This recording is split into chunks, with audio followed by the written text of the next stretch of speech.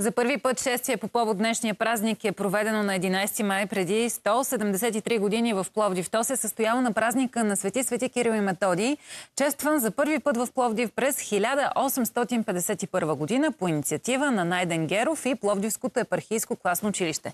Как градът отбелязва празника близо два века по-късно, ще ни разкаже сега Илян Велков. Иляна, здравей, честит празник!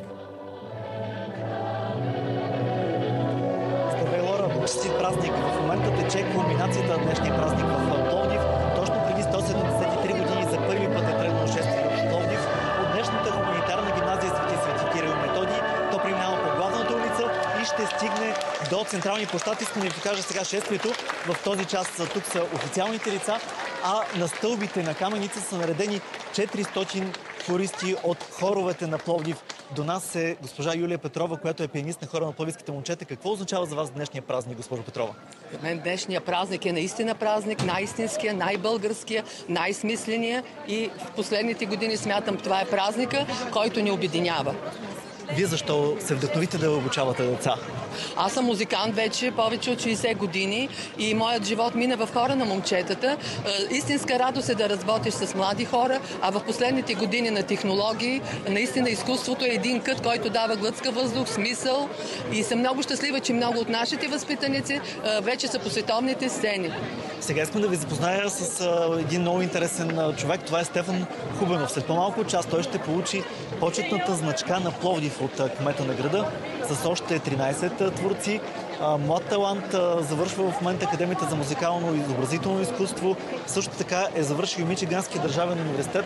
Здравейте, Стефани, честит празник! Здравейте, честит празник! Какво е за вас днешният 24 май? Това е един много светъл празник, който е един светъл празник е за вас. Какво ви дава образованието в България, защото сега продължавате да се обучавате в чужбина?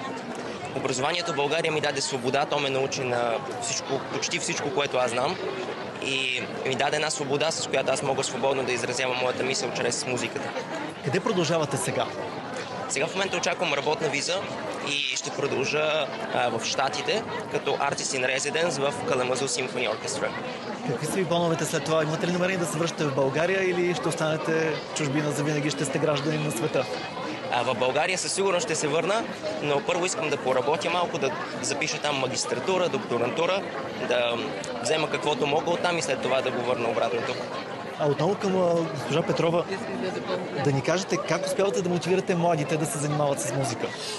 Всички знаете музиката какво върховно изкуство е и смятам, че днешните деца са достатъчно умни и достатъчно любопитни, за да навлезат в този необятен свят и да работят, творят и постигат резултати в него.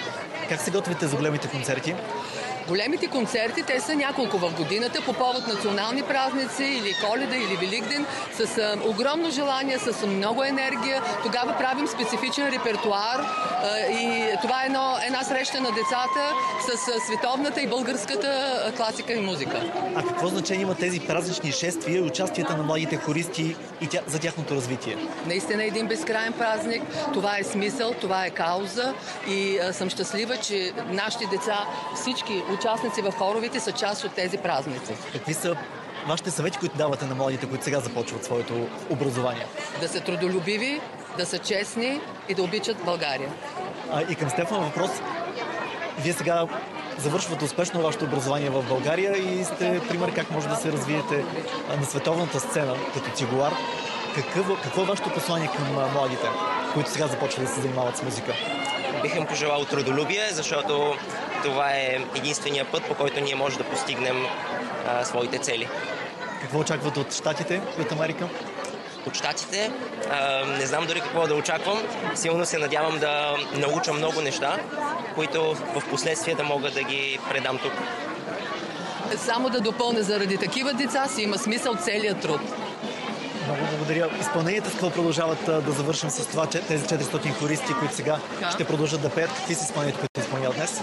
Днес изпълняват, разбира се, химна на светите братя Кирил и Методи. След това популярната за всички, всички българи трябва да знаят къде е България и накрая с химна на Пловдив. Благодаря ви, честит празник още веднъж. Успех при вас с преподаването, а на вас в живота и кариерата. Това, което можем да кажем, тук, тук що мина кулминацията, кулминационния момент с над а, 400 хористи, които изпълниха празничен поздрав към шествието, а в този час преминават хиляди ученици от а, 51 пловдивски училища. Те започнаха от хуманитарната гимназия Свети Свети Киро и Методий, минават по главната улица и продължават към централния площад. Оставам ви с а, атмосфера тук от децата. Честит празник